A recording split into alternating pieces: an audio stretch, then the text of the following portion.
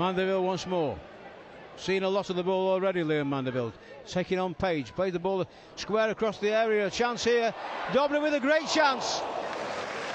Great block there by Harry Phipps. And we have the first corner of the game.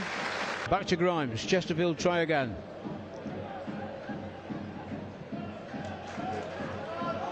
Williams. The header was a sloppy one. And Hill's in here. A real chance here for Dagenham and Redbridge. Grimes going all the way. It's Hill with the shot.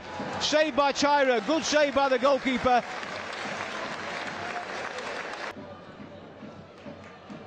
Oh, sloppy ball there from Tyra. Intercepted by Hill. Great chance here for Ryan Hill. Into the penalty area. Hill squares the ball in. And it's put wide by Josh Rees. Tyra comes for it. Punches clear. Musa. Hill. Crosses back in him again. And the head. Oh, and it's into the back of the net. Dagenham have the lead. I think it's Josh Rees that got it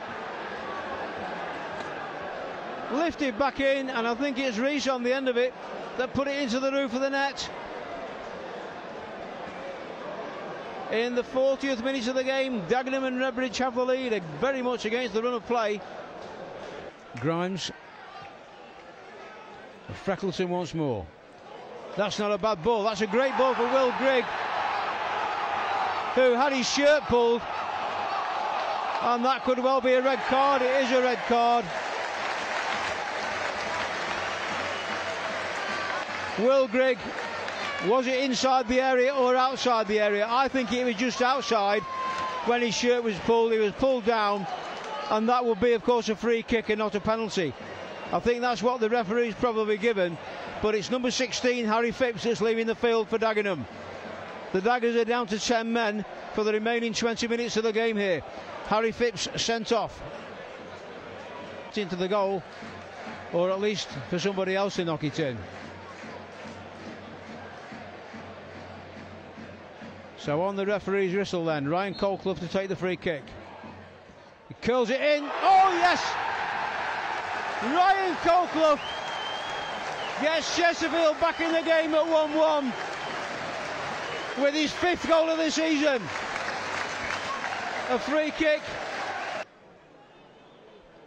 Dagenham did get a 1-1 draw here back in the 2019-20 season, just before the start of the COVID pandemic. Freckleton plays it to Berry. Berry running at the defenders here. James Berry trying to get all the way through. He goes down and wins the penalty. James Berry caught in the area.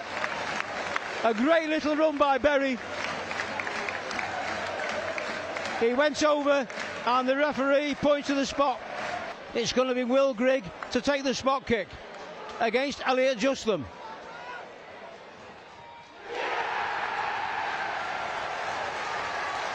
Two one to the Spireites.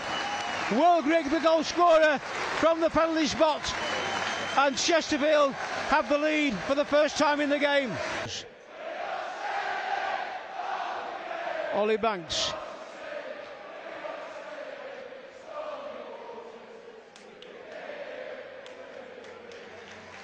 Banks fires one in again.